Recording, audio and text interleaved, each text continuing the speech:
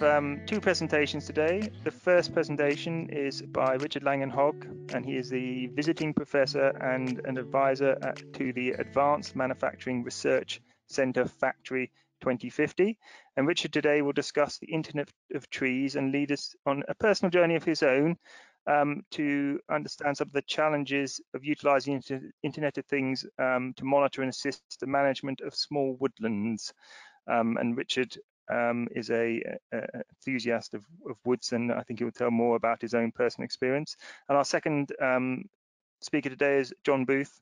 Um, and what John is trying to look at is trying to consider how much space soil is needed um, for new large data centers and is this good use of agricultural land and reduce the amount of land that will be lost um, with rising sea levels and John is a I best describe him as a um, sustainable data center evangelist. Um, he has been with the BCS Green IT for as long as I've been here, um, and he has his own um, independent uh, consultancy firm called Carbon 3 IT. And I'm sure John will explain a little bit more about what he does um, and how and his firm and his and his areas and his area of interest. So, um, like to take this opportunity now to pass the microphone over to Richard. Um, and Margaret, are you able to start Richard's presentation? And uh, Richard, are you are you um, are you ready to? Can you hear me, Alex? questions as they come. Could you confirm okay. that the that it's come up on the screen? I'm uh, watching. I'm watching. Yeah, I'm watching. Okay, so before you uh, press play, Margaret, uh, and thank you for that introdu introduction, uh, Alex. Let me just explain to um, uh, our attendees what's what's going on here now. So because of the um, the various problems many of us have with internet quality on uh, Zoom calls, Microsoft Team calls, and what have you, what I decided to do was with a few slides um, which are going to be presented to you, I've actually done an audio over the slides. So what Margaret is going to do is she's going to press play and you'll hear my voice and it'll take you through a series of slides, which is the journey of um, the Internet of Trees and what it's all about. As we go through it, if any of you have actually got any questions or you just want to ping me a chat comment, then please do so. But of course, you, we've got the, the panel at the end of all of this. So um, this is actually, not only is it being recorded for this AGM, but there is actually also a recording available uh, through the uh, through the BCS Green IT group if you wanted to um, take a copy of it uh, for listening to at some future date. So sort of settle back and enjoy. And uh, I hope you I hope you find this sort of the journey as interesting as I have found it over the last um, few years. So Margaret, if you could press play, please, and hopefully the um, the audio. Hello, my name is Richard Lanyon Hogg. I'm a professor of computer science at the University of Sheffield I'm also a member of the British Computer Society Green IT Specialist Group and I'm also a woodland owner. Over the next quarter of an hour I intend to provide an overview of a project which affectionately became known as the Internet of Trees and also to ponder the question which arose in my mind as to whether the Internet of Things is really sustainable. As a sustainability project, back in 2005, some 15 years ago, um, myself and my, my wife, we bought a 40 acre wood from the Forestry Commission. It had been a softwood woodland and being recently felled, we had planted 22,600 deciduous saplings, mainly oak, ash, alder, downy birch and willow. And subsequently, we've had a further 3,000 saplings planted, which included tissue birch and some cobnut. To give you an idea of the terrain of the wood, it's fairly flat, does rise up a bit at the back. It's kite shaped, has a large lakelet and distant views over Cardigan Bay. Given the weather of West Wales, which generally is horizontal rain and gusty winds, we approached the local council and secured approval to build an off-grid lodge. We captured the rainfall into a holding tank via a stainless steel filter and via a further paper filter and UV sterilisation unit, we have clean drinking water. Power is provided by a solar panel and Rutland Marine wind turbine. For heat, we have a wood burning stove, and for all our waste, we have a composting system.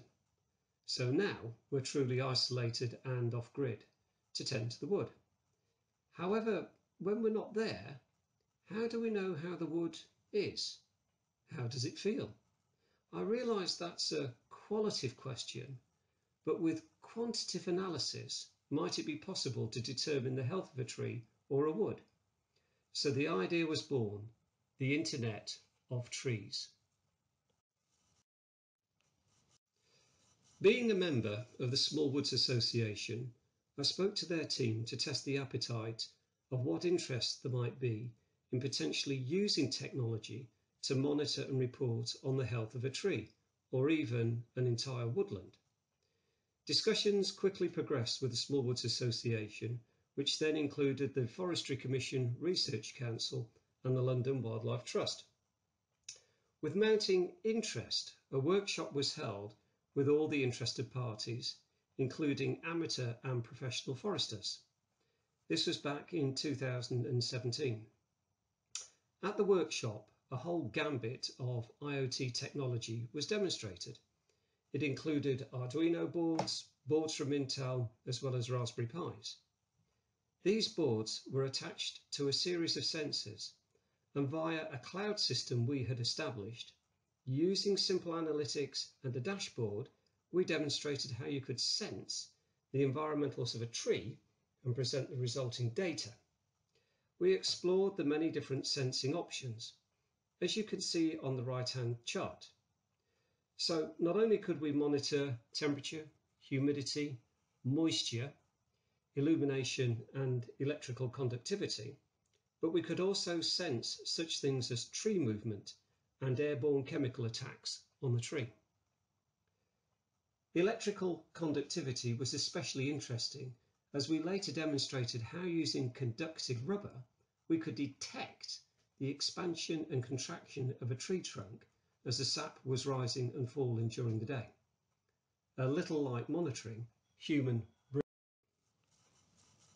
the workshop confirmed that there was an appetite to run a pilot, so we went ahead and designed a specific circuit board for the trial. And working with the Advanced Manufacturing Research Centre in Sheffield, we had, we had designed and 3D printed a case to enclose the IoT circuitry. The 3D printed case was in the shape of a leaf, as you can see on the chart, and it was also found to be quite a tactile object. So during 2018 and 2019, we operated several live trials. We sensed up an oak tree, um, silver birch trees, and some willows, both single trees and those in a woodland setting. Where online communication was possible, we streamed the live data into a cloud-hosted NoSQL database. The data was JSON structured for easy access by citizen scientists. And uh, we also provided for foresters the data via the dashboard. Using a data logging application which we developed for a smartphone, offload data was also uploaded to the cloud to enable it to be merged with other synthetic data sets and public data sets such as weather data. As with the initial workshop, the pilot confirmed that using IoT technologies, it was possible to monitor the health of a tree and using mathematically scaling models, we could offer an informed view as to the health of the whole wood. But what lessons did we learn from the pilots? From a technology perspective, and as we all know now, the IoT is an accessible and affordable platform. The boards are cheap and very capable. The skills required to manipulate the technology to meet your own needs are easily accessible and doable for most individuals. I also felt that there is a growing acceptance across many groups of people that technology is now a way of life. And for amateur woodland owners such as myself, then why not use technology to monitor a tree or even a wood?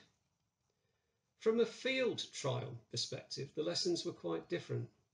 many woodland creatures took to the IOTR packaging, the Internet of Trees packaging, as one of its five a day meals. Quite often I'd find bits chewed off. Especially in a woodland setting, power was an issue. Yes, there has been tremendous strides made in battery technology, but if you're going to monitor a 40 acre woodland, we had calculated you need between 10 and possibly 20 IOTR packages. So whoever was responsible for maintaining the package would need to know precisely where they were in the wood. And remember, woods are constantly growing and changing and GPS signals are affected by wood and moisture. We did explore doing away with batteries altogether. Small solar panels were discarded though, as they quickly became covered in slime and lost their effectiveness. We also considered energy from motion, but in the middle of a wood, there's little motion as at the edge of the wood, it acts as a baffle and so the wind tumbles across the tops of the trees. So power was an issue and communications was also an issue. Offline data capture was fine so long as the micro SD card remained intact. We found moisture, damp, frost and heat a constant challenge which required changes and modifications in the Internet of Trees packaging to avoid microclimates within the unit. Online live streaming of data was fine if we had access to a Wi-Fi bubble provided by an on-site woodland cafe or recreational centre. As recently as last winter, we'd started to investigate using a low orbital satellite service to upload small 256 byte packets of data every 24 hours. So I felt that providing we could get the maintenance of the IOTR package resolved, we could provide a viable service to woodland owners with open, trusted and reliable data being made available to citizen scientists and other interested parties. But, and there's always a but, I just felt this whole approach wasn't sustainable. We're all familiar with the periodic table of elements this chart illustrates how over the last 30 years, you can see the growth in the silicon technology industry's use of Mother Earth's resources. Before 1990, only six elements were employed. From 1990 to 2005, this grew to 14. Now, over half of all Earth's elements are used in materials innovation to satisfy our digital needs.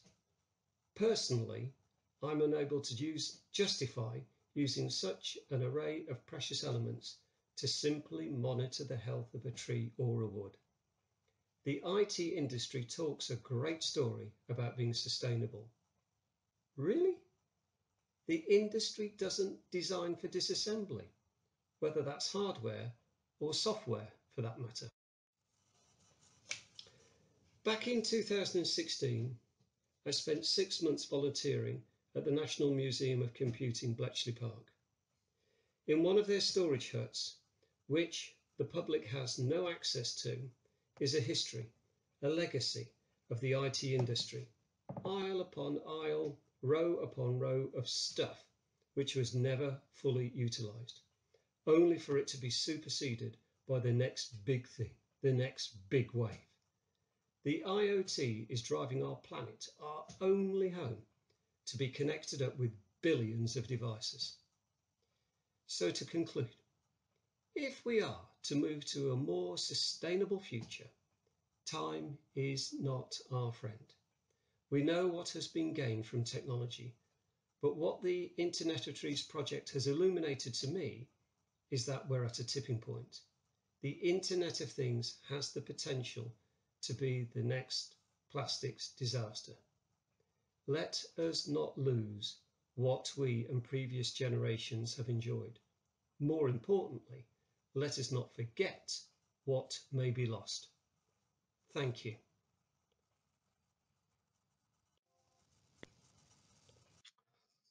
Okay, well, thank you very much indeed uh, for playing that, Margaret, and I hope the, the quality of the uh, the video and the audio uh, came through. Um, before I hand over to, to John for his presentation on data centers, just to just a small update. Uh, firstly, some uh, sad news. I don't know how many of you are aware of ash dieback, but there are one or two uh, ash saplings uh, in in the woodland which have now succumbed to that um, virus, that pathogen. Sorry, so uh, that, that's causing a bit of consternation. And we're also beginning over in that part of Wales to become slowly alarmed about the what's called the processional oak moth, which is now beginning to uh, sadly rear its ugly head in, in parts of southeast England. So um, the Forestry Commission Research Council are, are very sort of keen on uh, monitoring the, the, the, march of these pathogens and what have you uh, across woodlands.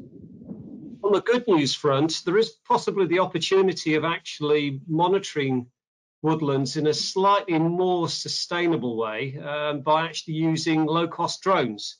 And this is something which uh, I'm currently exploring at the moment by using uh, high definition video and photography at various times of the year to, uh, to, to, try and undertake some analysis. So there's possibly a way forward through all of this.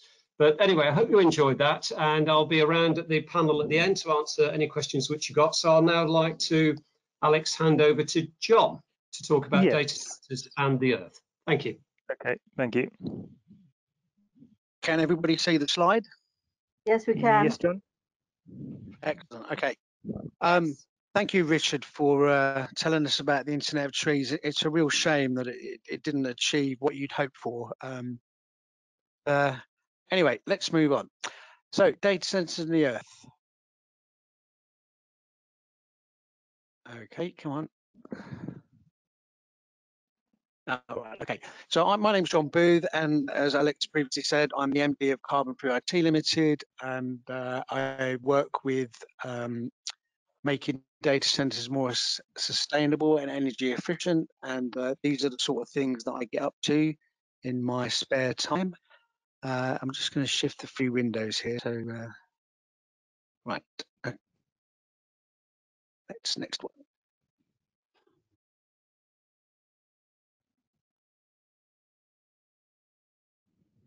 So firstly, what is a data center? So we, we, we talk about um, data centers uh, in a kind of quite nebulous fashion. And um, some people talk about them being cloud sites. So uh, what I can say is that the data centers and the cloud does not live in the cloud. Um, and this is uh, Cloud Blades 9, which of those of a certain age will realize that this is the main airbase for the Angels in a 1960s uh, animated puppet series called Captain Scarlet. Um, uh, but what they are is home digital infrastructure. If anything, they are not the cloud, they are fog. They sit on the ground. Um, and they are homes for servers, network, and storage. And they need electrical systems to provide electrical energy. Uh, they may need a cooling system. Uh, they usually use have interruptible power supplies, UPS, and generators. And of course, they'll have connectivity via telecommunications and network cabling systems. And then they'll have building integrity systems such as fire, very early smoke detection apparatus, suppression systems, security access control. Uh, and then over all of that, there will be a, a, service wrap of policy processes and procedures to maintain the uh, the systems within. And they kind of look like this and their purpose is to deliver digital services to internal and external customers should be at the lowest possible cost based on your organizational risk profile. Now, going to move on to uh, data center energy and environmental impact. And you may have noticed that some of these slides are actually um, don't really kind of contribute to our debate, but this is because I've cobbled together a series of slides from a number of presentations that I've done over the last year or so. Um, but there is a, um, an issue with data centers in terms of land use, rare earths mining impacts, and uh, e-waste in soil contamination. So those are the three things that I'm going to be concentrating on um, for the next 20 minutes or so. So has anybody heard of Doggerland? So Doggerland is basically the area around the UK um, it was around in just before the end of the last ice age, and it was a very productive area. Uh, but as we can see, the only real bit that's left is the Dogger Bank, which uh, people can go out and uh, stand on, and there are some certain places, um, the Thames Estuary, where you can also stand on. This was productive areas, and as we can see, there were three main um, inundations of this area. So one 16,000 years ago, one 8,000 years ago, uh, and one around 7,000 years ago. And um, basically, it's all gone now. It's all gone. And basically, it's a result of climate change and its related effects. So, what about today? Well, according to my research, three quarters of what are defined as mega cities which include New York, Tokyo, Cairo, etc., are beside the sea. And it's been estimated that 80% of humans live within 60 miles of the coast, and sea level rise of 10 meters would be catastrophic. And we'll see why later on. So, land use for data centers what what what you know what are we looking at here? So for enterprise, which is data centers that are owned and operated by the same entity, there are four main areas. So we have edge, which is small server rooms, and these can be remotely managed. We can have hubs, which are slightly bigger, small server rooms, and could possibly be off floor in a in a organizational building. And we have main and disaster recovery data centers, which can be rooms, floors, or separate buildings. And then we have cloud, hyperscalers, the Google, the Facebook, the Amazon, the uh, type well, Facebook twice there, uh, and this is more like likely to be a campus environment. And then for co-location, we have edge, so the small server rooms, mobile towers, and potentially some containerized uh, facilities. Got telecom mobile, so mobile towers, especially in 5G, which is, as Richard said earlier, is, is part of the IoT telecom, fixed exchanges, and micro exchanges. In fact, BT did have a quite a large portfolio of micro exchanges, which were scattered around the the UK. Uh, and in the last 10 years or so, they've managed to sell them all, which was probably a bit of a strategic error because they would make perfect edge locations now. City sites for location, which can have multiple customers in, and then we have cloud, uh, which are CDN providers, Metro Hub sites, which are extensions of the cloud hyperscale environment to provide content delivery networks. And then we have small cloud operators. And entirely likely that some of your data centers could be contained in rooms like this, or they might even look like that, which is a pretty bad example. And here, uh, and then we have uh, bigger ones that may be like this, or sometimes like that or like this. And these are extreme examples of, of the genre. Um, but nowadays, with the hyperscale, we saw this um, picture earlier on. But this is uh, that's the inside of Facebook at Luleå in Sweden, and this is the outside. And they're currently building phase three in this area here. And and you can see that this is a vast building, and they've had to cut down all the trees in order to uh, to put it in. And this is an, a similar site in Fort Worth. Uh, and as you can see, it is, it's a, these are huge campuses, many hectares of, of land are being used for provision of the hyperscalers. And currently there are around 450 of these sites globally, and there's about another 120 under construction. There is no current data on the amount of land that is being used for data centers. But to give you a recent example, um, one of the hyperscalers was planning to build um, a, a, hyperscale campus in the Netherlands. And this has triggered quite a bit of um, poor press for them in, in the local media. Uh, but it's a huge site uh, and that is prime agricultural land. It's land that's been previously reclaimed from the Zuiderzee uh, and used to be home to uh, sheep and um, crops, and now is going to be devoted to data centers. I think there is an issue. It's not a well-known issue, but I think that's going to be start to be more prevalent. People will be asking questions why uh, largely American organizations are coming over to Europe and buying up vast tracts of land and then sticking these energy goblin fire breathing dragon data sets on them. Okay, so now to the question of period elements used in ICT. And Richard touched on this, but I want to go into it in a little bit more detail. So this is an abandoned rare earth mine site in China. This is child miners in the Congo. Uh, and this is a picture of artisanal mining, which is going on to get these rare earths. And this reminds me very much of the early days of gold mining in South Africa. Whereas we can see we have uh, basically all and sundry coming along and basically digging out the land, all individual companies. And I think we need to remember that back in the 1900s, uh, Consolidated Gold was actually the organization that was created from all of the artisanal miners because of uh, land collapses.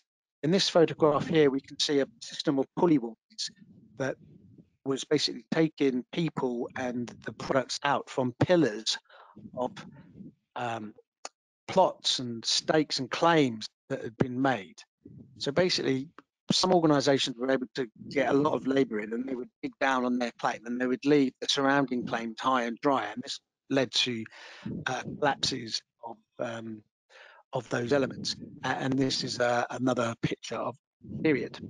So getting back to Richard's periodic table, as he was quite correctly said, before the 1990s there were six elements used, uh, and then from 1993 to 2005 we have more elements being used, and this is the amount of elements that are being used today, which uh, is quite alarming.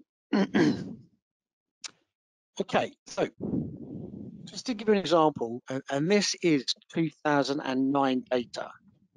So for one PC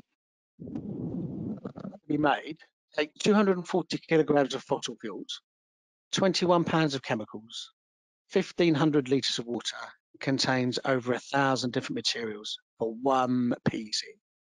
In 2009, 367.8 million PCs were manufactured. And that in 2008, the number of PCs on the planet exceeded 1 billion units, which meant that in its production, there had been 240 billion kilograms of fossil fuel, 22 billion kilograms of chemicals, and 1,500 billion litres of water. Now, this data is old, but there is no reason to think this has changed substantially, and there can be more research is needed. The servers, which are located in data centers, uh, and what I used was those previous slide figures and multiplied them by three to count for server. So these these might be slightly off. There was 27 million in use in 2009, uh, and effectively you can see them there total fossil fuels used in computing to date, and that was in 2009, to 24.1 billion tons, and that's estimated. And that would have been the amount of fuel required to run Drax, which is a power station in the north of England, for 2,400 years. And Drax provides 7% of the UK generation capacity in 2009 It's actually slightly less now. It's about 3.5, and they have over the last uh, years or so converted their boilers to run a mixture biomass and coal.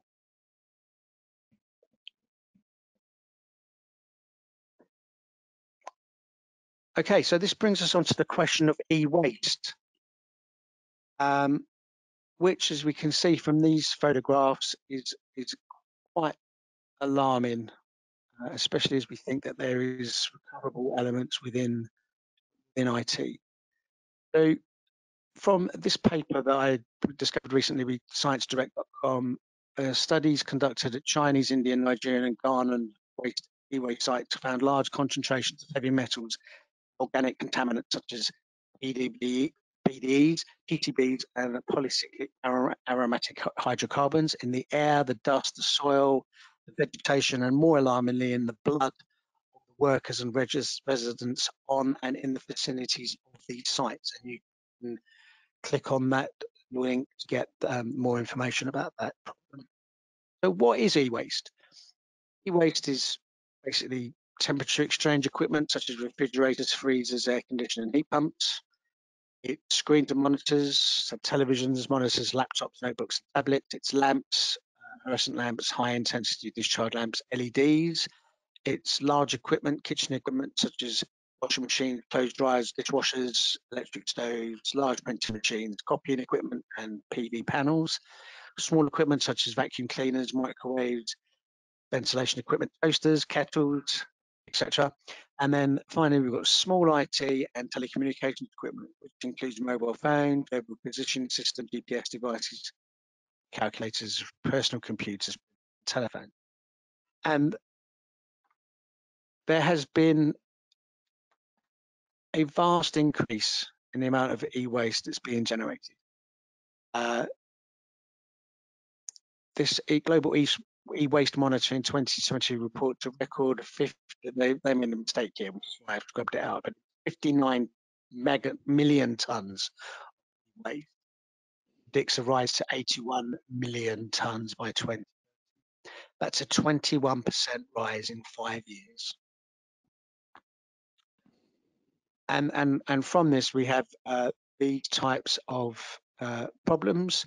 So we're, we're, we're damaging the soil, we're damaging the air in those locations, and we're damaging the water table, leaching, uh, and the way that these are being recycled. Uh, they basically cause multiple contamination problems. So now I'm going to do a quick switch of change of focus and get back to Doggerland, climate change, and the melting of the ice caps in the Antarctic and Arctic. Let me take that back one will cause um, sea level rise. Now, this is from flood.firetree.net and it shows a seven meter rise in sea level. And as you can see, most of the Netherlands disappears under the waves. And if we were to zoom in to London, you can see that all those data centers in Docklands uh, and that Tunnel Avenue are now effectively uh, in underwater, not underwater because they. Majority of the access at points and they're uh, underwater, and you'll need a boat to get to them. Uh, and in Amsterdam, the uh, the problem's even worse. As you can see, there's only small areas of the Canal District and parts of Haarlem area that are still above water. Now, at 60 meters, which is probably the complete melting of the Arctic ice cap, see that the problem gets a bit worse. Denmark effectively disappears. Berlin is uh, also in the flood zone. Hanover in Germany, Bremen. Uh, London is probably no longer a viable city to live in. Even Cambridge and Peterborough. Norwich is underwater. Hull, Lincoln's on the edge. Uh, and where I live in Warwick, uh, currently, we're 80 metres away from the sea, but sea levels rise by 60 metres. Warwick will become a beach resort in this fjord that will come up from the Severn Valley. Now, obviously, this would be catastrophic climate change. But if we think back to those, the area of Doggerland, and there was three distinct catastrophic changes that basically wiped out Doggerland completely. The last one was the third great melt of the glaciers from the last ice age. And we know from geographic surveys that have been conducted of the English Channel that there is still scouring where the seabed has been brought down to the bedrock in the English Channel. So we know that that is from a catastrophic event and we cannot wait really to to address this problem because it could happen at any time. So this is why it's a bit of a problem for London and, and uh, Amsterdam is because these are the core locations on the European core fiber and internet network. this is where all the communications cables terminate that come transatlantic uh, from London and uh, Amsterdam. I'm not suggesting that these are the only points. There are points that could be used that come into Norway. There has been some considerable movement um, and installation of new cables to account for the Norwegian and Nordic data centers that have been being built there in the last 10 years or so. So what can we do? Mitigation actions that we can do. Now, obviously, there's not a lot we can do about land. Uh, you just need to make sure that you build them in the places where you should build them uh, and outside of flood uh, problems or any potential flood problems. this is quite interesting because I know that Tech UK have been asked by the government uh, to do a survey of their data center operators in the UK, saying where they're located and that they should do a flood risk assessment. So that would be quite interesting to see what will come out of that. But um, talk about the code of conduct, and this is more for energy efficiency, but in the data center building uh, section, part eight of the code of conduct, it, it does talk about putting your data center in a place where you, which is optimum, and the EN 5600 series of data center design, build and operate standards also have a section on where you should um, locate your data centers and the sort of feasibility studies in before construction. The um, we need to uh, worry about that. Um, and these are obviously some slides that I've kept from other bits and pieces. So I'm gonna I'm gonna shut down there. Um, thank you for listening, and I'm going to send you back to Alex. Um, and if any questions, please feel free to ask them. Thank you. Okay, okay, excellent, wonderful. Thank you, Richard and John. Um, so that draws to conclusion of our presentations for this evening. Um, I'd also now like to take the opportunity to open the floor for conversations and questions. So firstly, um, do we have any questions from the uh, the people on the call, um, specifically you, for John or Richard? Can't hear me. Okay, why is that then? Uh, can you hear me now? I can hear you. Yeah, I can hear you, Alex. I was just wondering, Alex, do you want the uh, attendees to use the, the questions section uh, or the um, chat? So yes, if, if, you can ask, that would be good. If, uh, questions or um, if the Margaret, can they actually ask questions on the call as well? Yes, we can. Uh, if they put their hands up, we can open their microphones. Okay, that'd be problem. Can you see the AGM screen? Yeah. Ah, right. Oh, we want to get rid of that, don't we? With any luck? So, trying to dispose of. Not very Mm-hmm. successfully.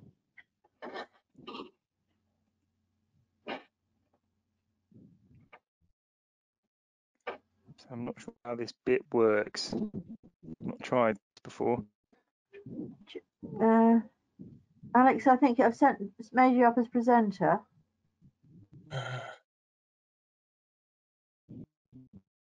John, Oh, you want me to uh, come off? Okay, hold a moment. uh, could, you come uh, come off the press the stop stop sharing Who do you screen? wish me to make? Who do you wish to make make the presenter? Alex? uh, yes, I'll stop doing my one. Uh, share screen. So I think I think we're okay if we can get Alex now as presenter. Done. I think Alex, Richard, and John, you should all be able to should be shown. Okay, so can you, can you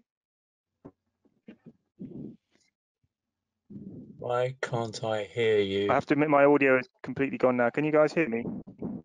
Yes. Yes. Um, John, if we uh, make you presenter for the moment so you can close your screen, Okay. uh, which is just cross uh, cr- clicking on that little white triangle or little white square rather in the set in the sharings. Okay, I've done that. Okay. So, So I think now, are we? Oh dear. Have you got my screen up?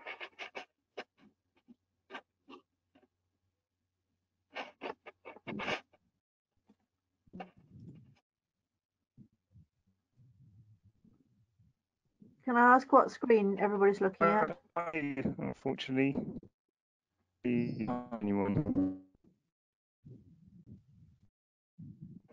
Hello. Yeah, I can I hear you.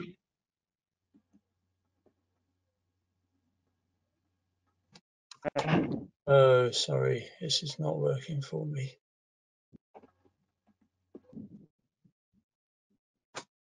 Ah, you see we- Mark. uh, uh, Yes, uh, can we bring John Hi. and Alex on? Uh, Sorry about this. I'm afraid it's my rather No, bad technical. Yeah, I can see you, John. Right, fantastic. Can you, The only person we have, the only No. person we have got is Alex.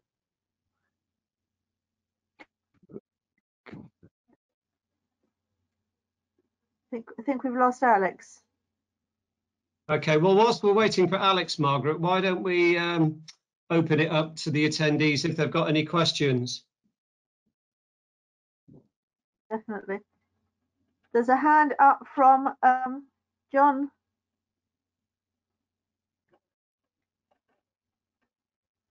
Uh, Pat, uh, Salva, is it?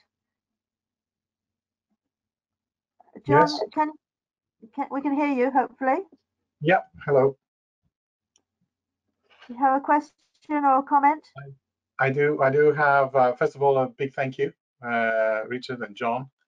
Um, I'm I'm an academic from Cranfield, so uh, I've been looking at this uh, issue on green data for a while as the uh, fourth industrial revolution is unfolding, and um, I am encouraged to hear what you had to say. Uh, we've done some research where we calculated or rather estimated the carbon footprint of a gigabyte of data, uh, which I can share with you at some point, um, uh, based on the current energy generation profile. My question to you is this. Um, yeah, and John, you mentioned about some standards, but at the moment, um, I think um, what we see, and I'd like your views, both Richard and John, on this, uh, we see that uh, some big names, household names that people know, are marking their own homework when it comes to talking about themselves and how green they are. Um, and every time one of those 120 centers that you're talking about, and we know, we know the SDG ambitious targets, we haven't heard of anybody saying every time there is a license requirement for building one of those things, there needs to be some rules as to, for example, the energy needs to be from renewable clean sources. There is no such movement. Is there such movement? And, and the concept of green data, people think data is free. And we like to say uh, data is energy. How, are you seeing any movement on uh, policy push towards that way? Green data, if you have, if you want a license for a new data Hello? center, you have to have a, hello. a clean uh, source of energy. That's it. That's my Can't question. to you. anyone. Hi, um, John, I- I'll answer your question for you. Um, okay, so about 10 years ago, Greenpeace started publishing something called How Clean is Your Click or How Dirty is Your Data? And whilst this was US based research, um, it, Oh, it did cold, that's why. actually impact across the whole of the sector, the professional data center sector. So when I when I say that, I mean the co-location types, the the guys that would look after other people's equipment in data centers, and some of the hyperscalers such as Facebook, Google, Amazon, uh, Interxion, etc. Now they have they were they were stung by the criticism that Greenpeace levied on them and, and this is why you see uh, the likes of Google and Amazon reporting their uh, renewable energy quotient in, their energy mix. Uh, and they are actively participating in something called uh, purchase agreements. So basically, what they're doing is they are buying up uh, renewable energy mixes from via green tariffs.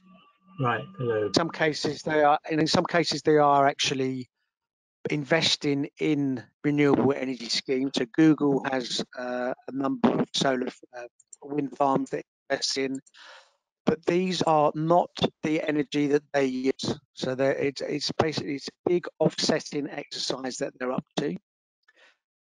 Uh, and, and you're quite correct. There is no uh, adequate reporting requirements within the industry. Uh, and, and, and this causes us problems because it basically gives, uh, because of the lack of data, and I, and I, I did have a couple of slides about this, but I took them out.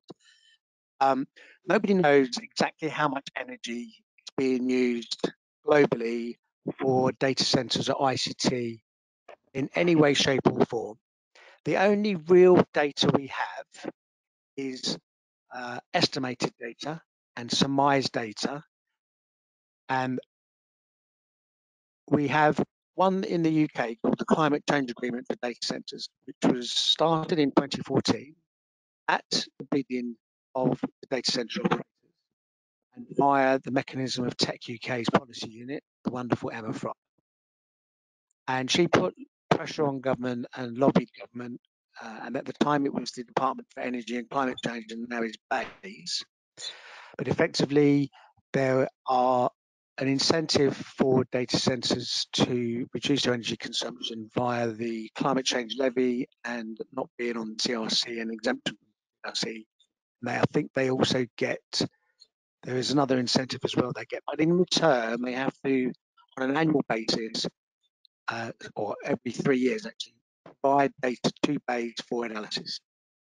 What that told us was that in the last reporting period, which was 2017, and then the third one is due imminently, that the commercial data centers in the UK used 2.89 terawatt hours uh, of that year, which represented 0.79% of the UK's total generation capacity. Right, uh, can I interrupt for a moment? John, um, could you just yep. move your microphone very slightly? Okay. Yeah. Is that better? That's better. Yeah, John, I've also got a, a, a comment I'll make uh, following your comment on this as well. I'll give it a different spin. Okay, um, so we don't know exactly how much energy is being used, but we do have a lot of estimations and some scare stories that have been put out by various research organisations, and for what purposes I don't know global energy use has been estimated at 1, 2 or 3%, depending on who you talk to. And some people will tell you that it's um, the equivalent to the aviation industry. Uh, this was pre-COVID, obviously, because I should imagine their energy use has uh, substantially dropped in the last year or so. Um, but is there a push to do something about it? Yes, there is, because people are getting increasingly frustrated with um, some articles that are being written by the press. Indeed, I was mentioned in the Sunday Times uh, on the 29th of November um, in, in a Silicon Valley's Dirty Little Secret article, which you can get online if you can get through their firewall. But we know that data centers industry in the EC is under a very uh, a very watchful eye, and we know that they're going to be start starting to find out what's going on. They're really, really worried about energy consumption related to data centers, but they're more focused on the actual reuse of energy from um, waste heat reduction, uh, reducing the waste heat, or, or using and capturing that waste heat into things like heating systems. But that's a whole not, another story. What I think will happen, and it's and I've we've been getting some interesting assignments from uh, people that I wouldn't have expected to get them from. But effectively, to build a hyperscale data center is going to cost you anywhere upwards of $200 million. So these are significant investments. People have to go to the finance houses to get it. And the finance houses have basically, they've come late to the data center party, but they are now adopting what we call ESG. So that's environmental, social, and government criteria that a data center operator will have to provide information to the investment house how he's going to do stuff in the environmental, social, and governance areas before he. And I think what you'll see is those ESG people will be starting to say, we want you to publicly report. If you don't, you're not getting the money. As simple as that. And I think all of those guys together will be able to put some pressure on and we will get some good data. Over to you, Richard, because I've spoken enough. Uh, John, you're breaking, you were breaking up a bit at the end. Yeah. I'll I'll be very brief um, in terms of a comment to that question. I was just I was just uh, looking at a, uh, um, a small paper I, I uh, wrote recently, and I'll just read an extract from it. It says, "The industry knows it needs to be sustainable, but there's a lot of greenwash spinning around.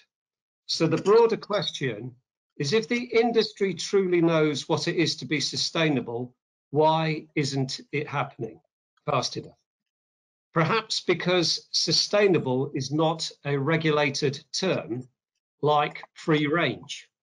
So it leaves the industry free to interpret as it sees fit, applying it as it sees appropriate without any legal recourse. So what will it take for an industry to operate within its pla- planetary boundaries, as John was touching upon? Um, the, the, the industry has been taking the lead on the discussion around sustainability, creating a glut, I would say, of misinformation. And until the consumer and governments are better informed and demand greater transparency, regulation, and legislation, I think personally the industry will continue as it sees fit. So let's just accept that no one company can be, be perfect, but let's not call something sustainable if it isn't. And I think this is the problem which the industry has got. Too much greenwash, too much spin, there is no proper regulation of the terms. Sorry, back to you, Margaret. Um, Is, uh, I mean, I think we've got Bob there. Yeah, can you hear me? Yes. Did you want to add any points to the? Well, my only concern was around the code of conduct and how far that required reporting on a common basis of sustainability impacts.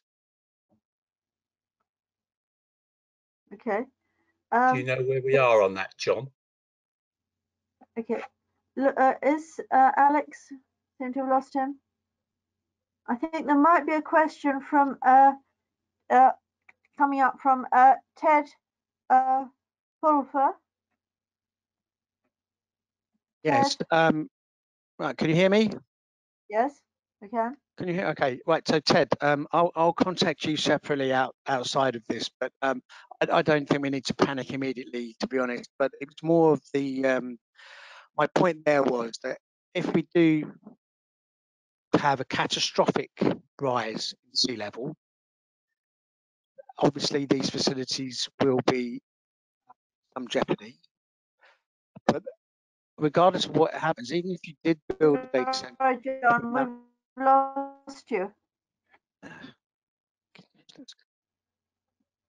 right? Can you hear me now? Sorry, volume That's better. completely. Right. Okay. Sorry about Yes, this. keep Um, going. Okay. So um, now, whilst I'm not saying that data centers should all find and seek higher ground, um, I think the core point of this is, is that the existing cabling infrastructure will, will terminate and go to the places that are going to be underwater.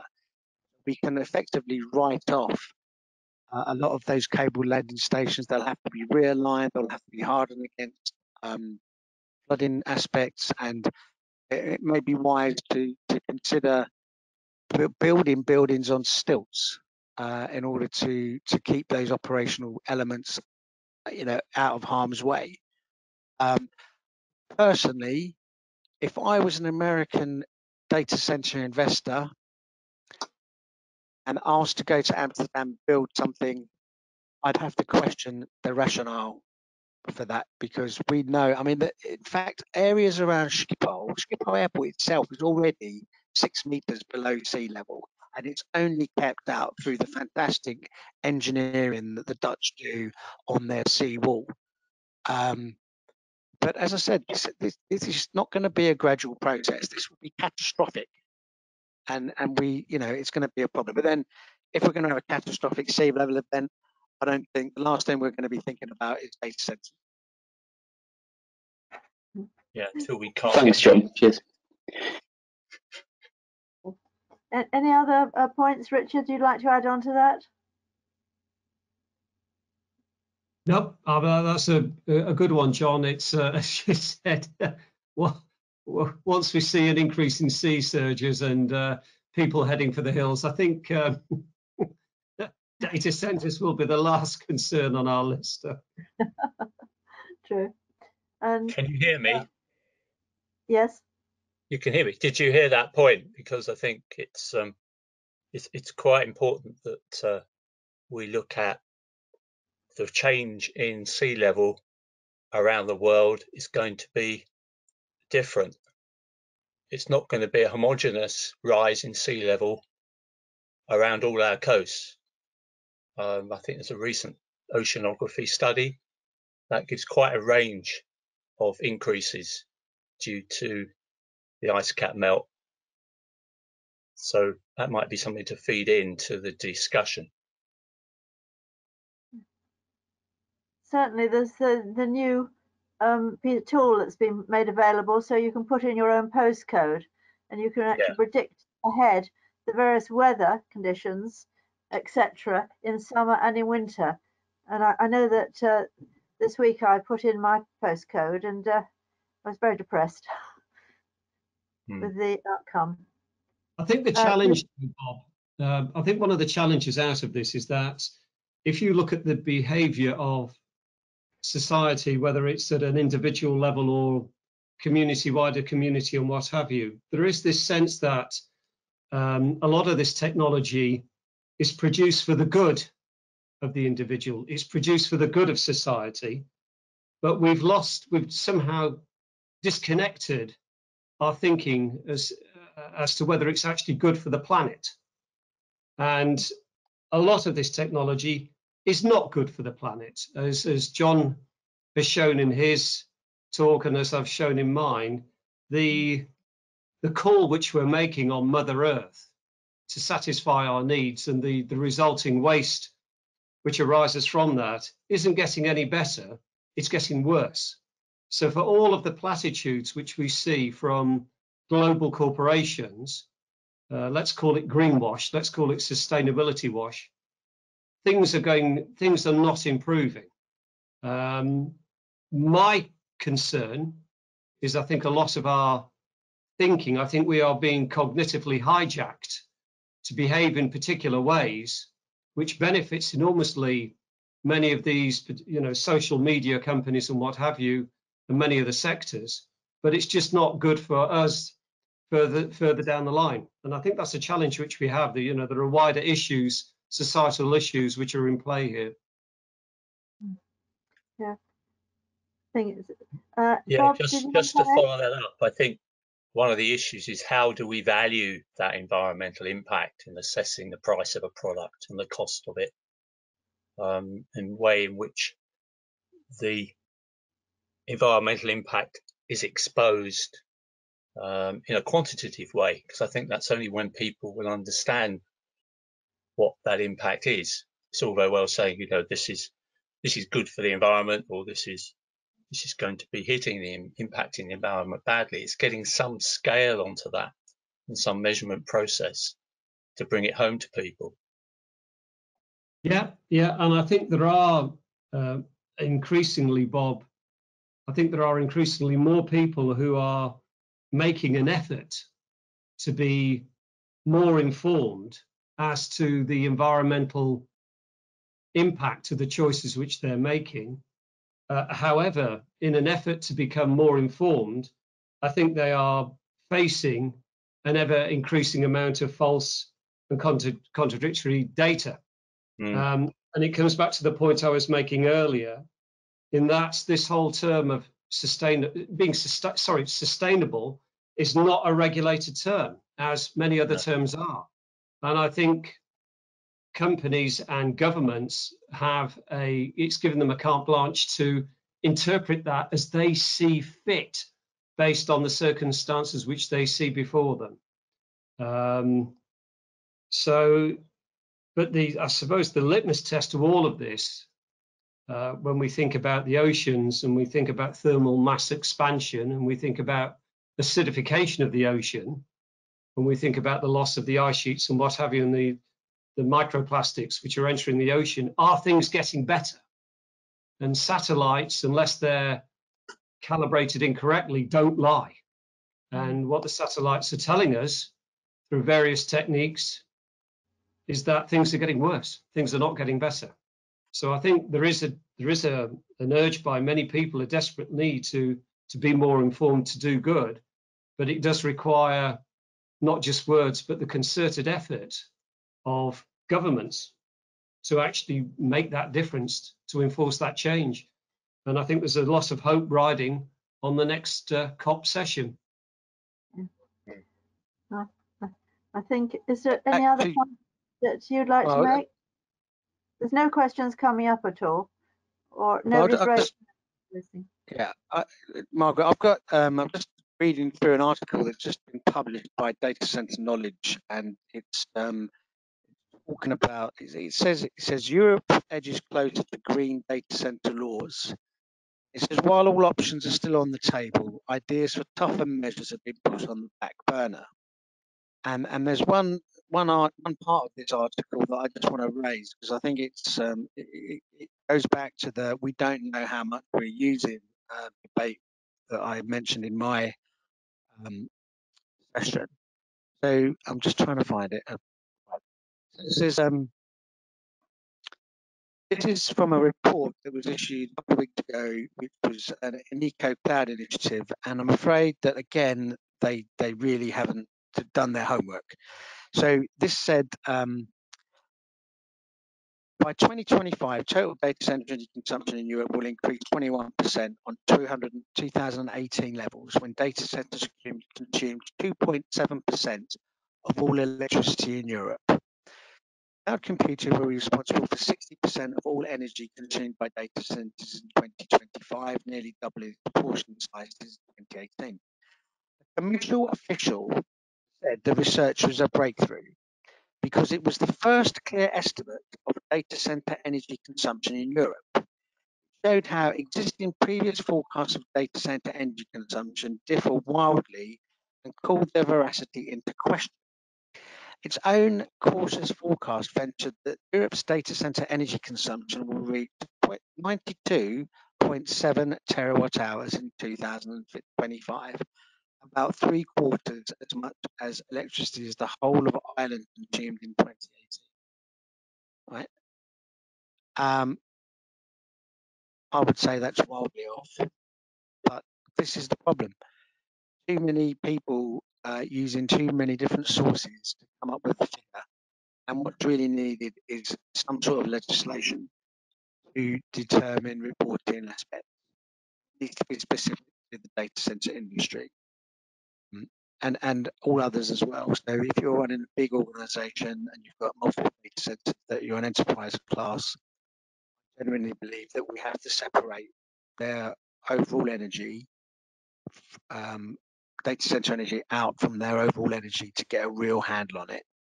Because otherwise, we're just going to make really bad decisions, such as this. What and is that we're going to keep some of the more radical uh, options on the back burner, and that's never going to get us where we need to get to.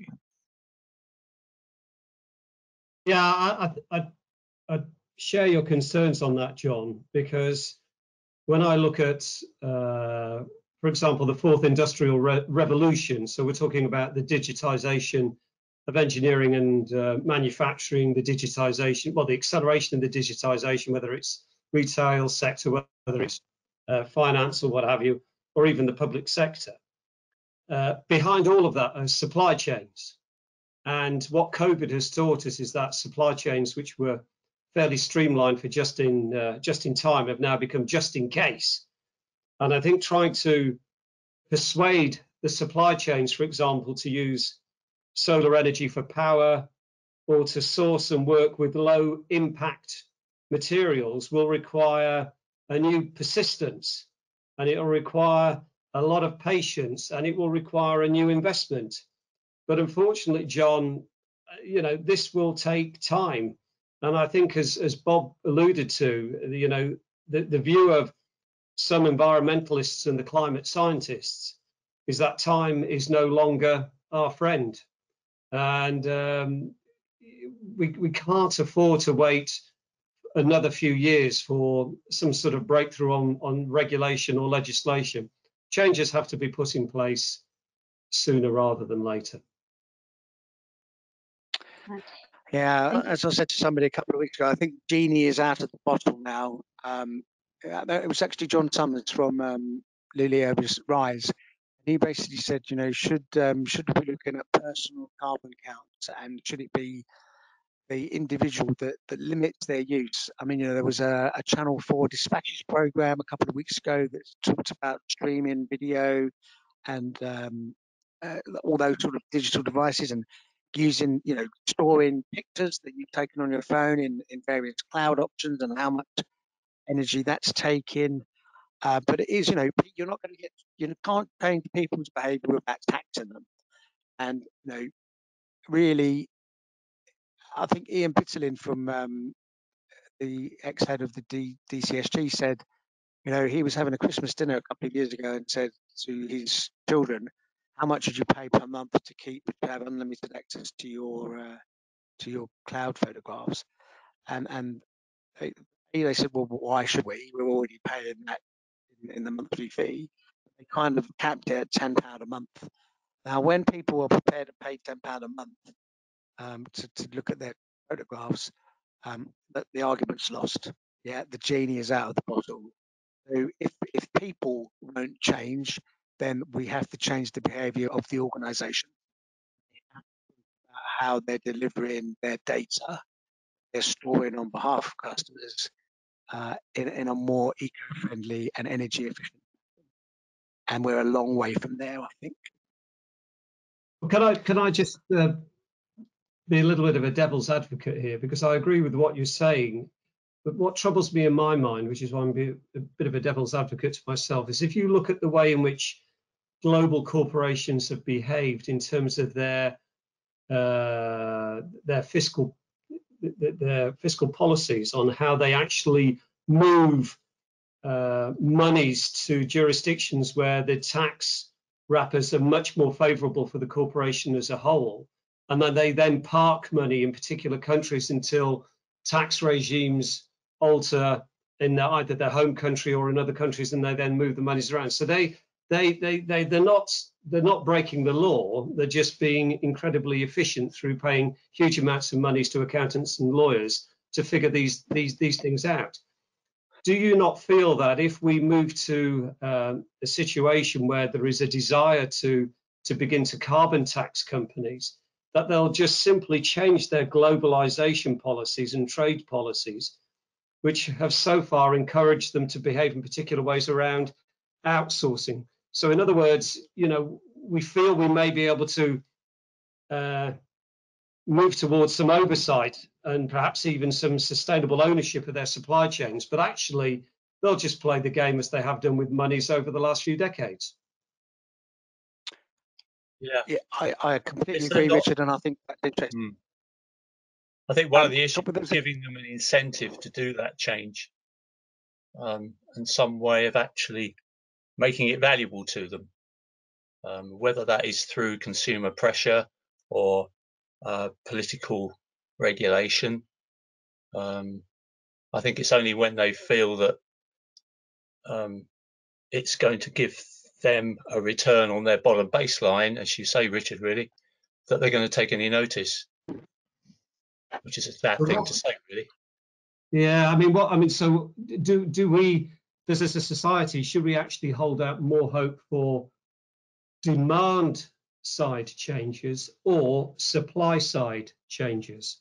I think Uh, our engineering is is is on the demand side. Really, it's it's through the PR, it's through the the exposure you can give to bad practice that could demolish a company's um, revenue.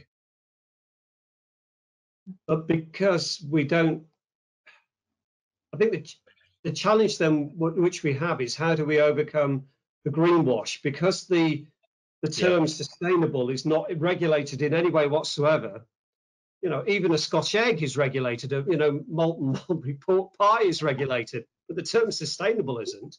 And so we suffer enormously from corporations' interpretation of that. Yeah, so it, it's a Um, dead there's, there's, term. there's, We've yeah, lost John, I think. Jo- no, John, well, we've lost I've. I've, I've turned my camera off, but um, hopefully you can still hear me. Yeah, I can Um, still hear you. there is, Yeah. yeah, there is another question that's come in, and it's um, is ESG another big scam or is it a savior? Now, um, I can't go into too much detail, but um, we've been approached to to assist a couple of companies that are providing ESG bonds um, to potentially data center operators. Now, obviously, my my report to them will be uh, on a guidance side of things of what they can do, and I can put some recommendations in. But actually, I think we need to look at this in a wider context. Um, the climate emergency isn't going away. Governments are committing to net zero targets, uh, and there has to be transition routes to get there. And there is huge opportunities in uh, all sectors in order to, uh, to, to to achieve this. But we have to take the opportunity. And if that means that we need to reconsider how we have corporate governance, how companies operate, then I think that's going to have to happen. I would have, if you'd have asked me this question two years ago, I'd have said, I think that's going to be very difficult. But I think with Joe Biden in the White House in, in a couple of months' time, and he's already committed to serious uh, climate change packages in the US, and that will then impact the manufacturers of ICT kit in the US, will definitely those those incumbent tech firms that are largely US based have to report under the same requirements. The Americans have always been very quick to penalise and fine people for malpractices and misuse of stuff, as have the European Union. Uh, yes, it all might be a bit headliney. Let's take, for instance, Apple's tax bill in Ireland. Um, we have it's like an millennium bug, right? You know, there is going to be climate change. We have to keep it below two percent. Um, uh, so so things have to be done, and I think there will be. There will be some rocky road bumps along the way, but I think we'll get there. But I don't think it's a scam. I think these these people are genuinely using ESG decide who to invest in. And I think what has changed recently is the people that they're getting their money from, who they're looking after their money half of, I think their viewpoint has changed as well. I think they've become younger, and I think that they have um, genuine concerns about where the planet, where investment is heading, uh, and if they can basically follow the money, what I'm saying, as with everything. Anyway, I've got to have to make a move, so um, thank you for your time, I think, and is there any other leave you guys. that uh, anyone want to raise? In which case, I think we're going to close. Just one thing, this is John Pasovels again. Thank you very much. It's been so amazing. I'd like to reach out to you, uh, to a couple of you to make some, uh, uh, to offer some of our insights. But here's the thing: uh, shouldn't there be a business case for people who want to um, be green in the data center world and uh, lead the way with a marketing policy that has as the flag and reach out to you and uh, and set a standard, uh, volunteer, volunteer uh, standard.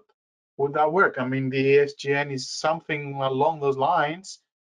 Is there an opportunity here for somebody to differentiate themselves and appeal to the younger generation or generation, the Hmm. generation Zers care about these things a little bit more? Uh, that's a question. Sorry, thank you very much. Nothing. And John, I'm going to answer that question as well, actually, if I may. Um, Google have, are very proud to say they've been climate neutral since 2007, I think, and Microsoft have gone on record saying that they will uh, be offsetting all of their previously historical carbon emissions by 2040, 2050. And I think these are laudable, laudable things to do. Now, if you want proof of the pudding, then we look at data centers like Eco Data Center in Falun in Sweden, and I noticed that Jonathan's online.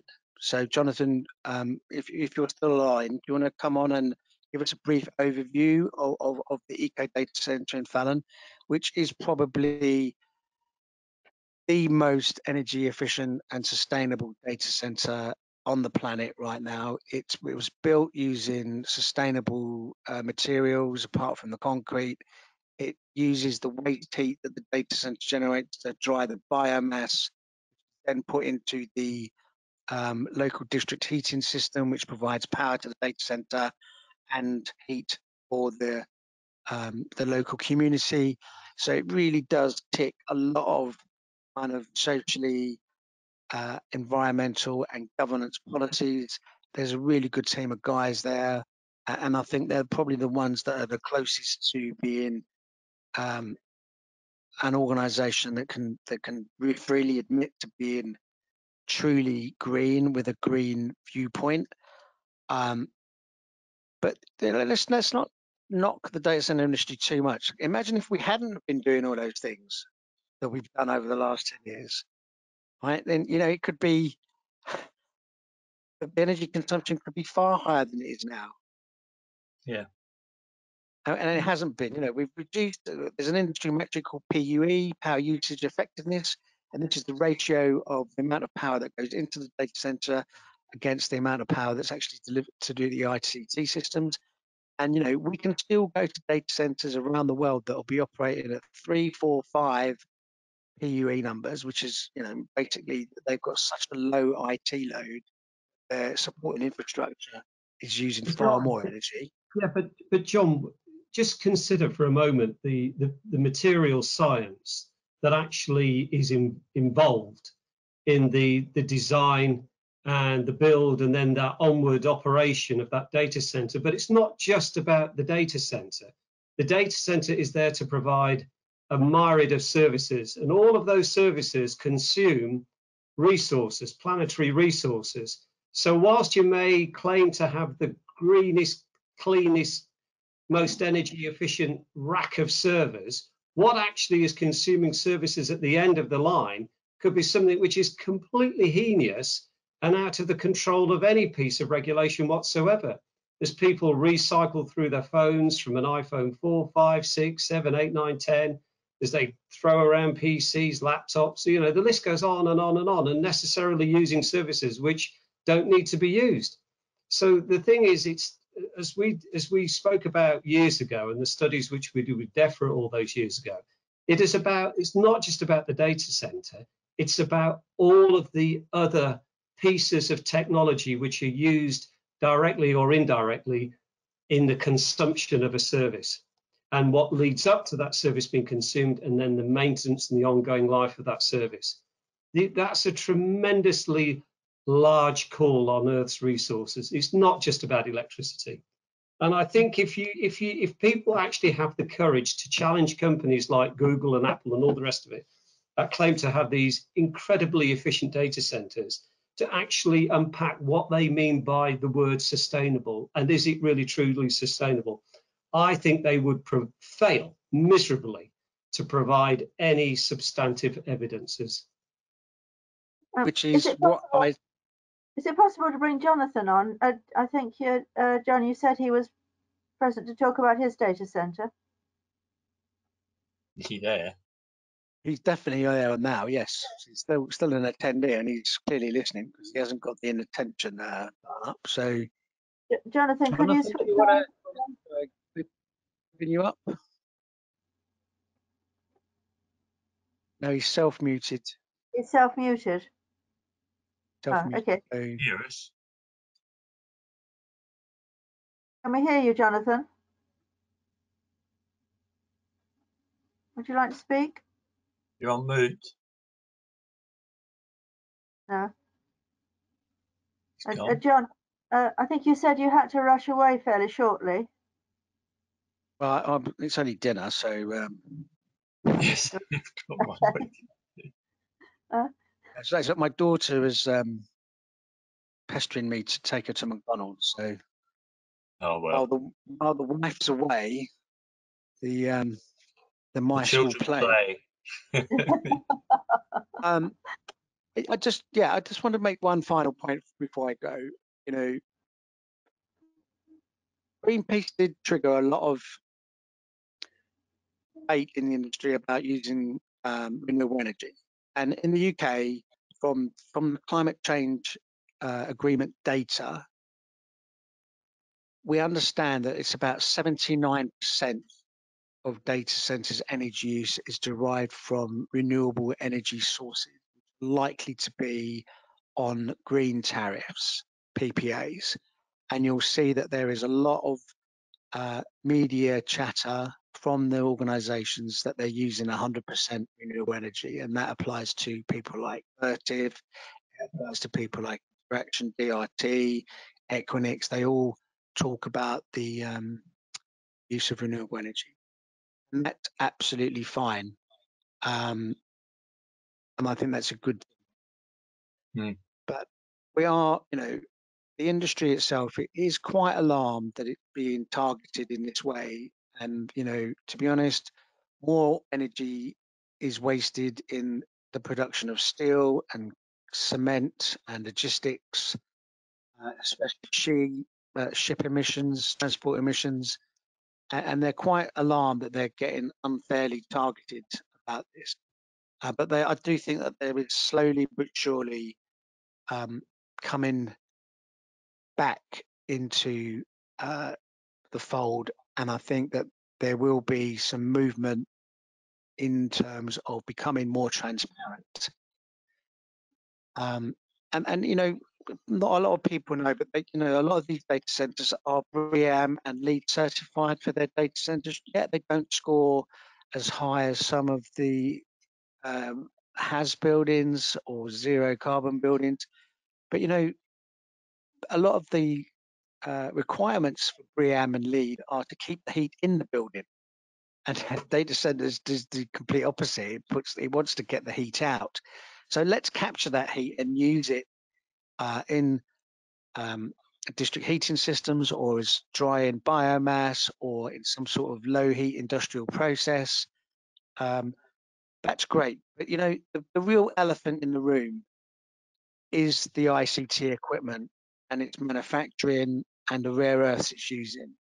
And that is outside of the responsibility of the data center operators. They are merely homes for data servers.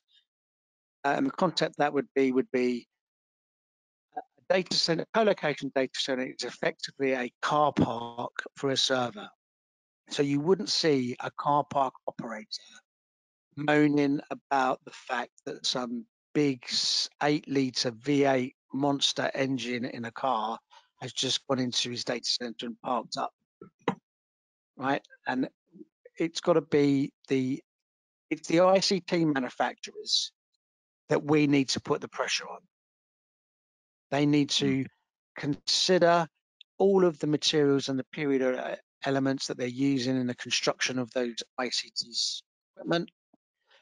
And they need to, I think, they need to start to be able to recover that those resources once you've reached end of life. I was on a very interesting webinar uh, a days ago by the Tadachi project, and in a server, there are 70% of the server is metals, 7% is plastics, 2.5% are cables, uh, 0.5% are batteries, and 21% of the PCBs. Now, for every ton or five tons of PCBs that are recycled, they have got an industrial process that can recover copper, tin, nickel, lead, tantalum, silver, iridium, gold, and cobalt. Right? We can recover these elements. It has to be done in a properly designed facility.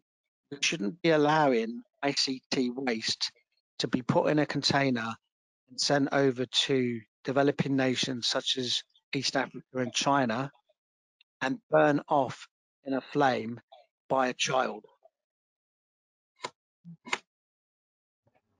Is that still happening? I mean, that was 10 years ago. Still happening. We made no progress on that yet. no progress has been done on it at all. And if we look at um, now, remember that if once a server has reached its end of life, one of the first things that will happen from a security perspective is that they will recover the hard disk drives and they'll just be shredded and dumped into landfill. Yeah, I remember. Yeah, I went to see one Yeah. of these operators.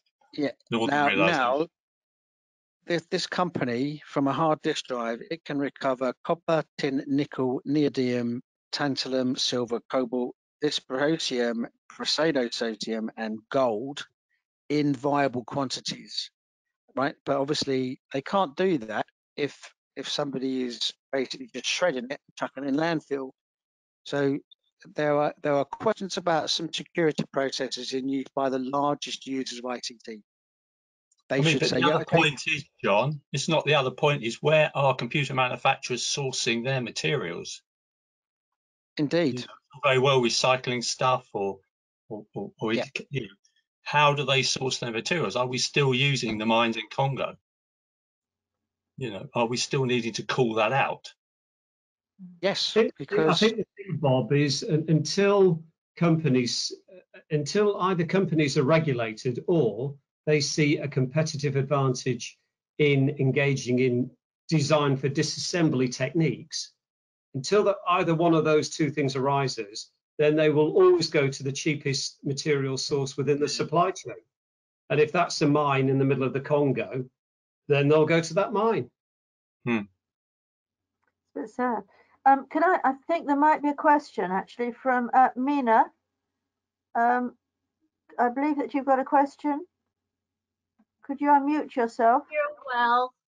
Um, yeah, it's just um, some interesting comments um, that have been made by the panel there. Um, just wondering um, whether we hire equipment as opposed to buy it, and the, I guess the disruptor would be that all equipment has to be recyclable to a certain percentage as a start and then you know we don't use all the tech that we buy so you know is there more of a push towards software as a service and you know even technology as a service? So yeah once we don't use something it goes back to who we bought it from or hired it from um, and it's for them to actually recycle. And I do agree there needs to be some sort of regulation um, otherwise I just can't see it happening.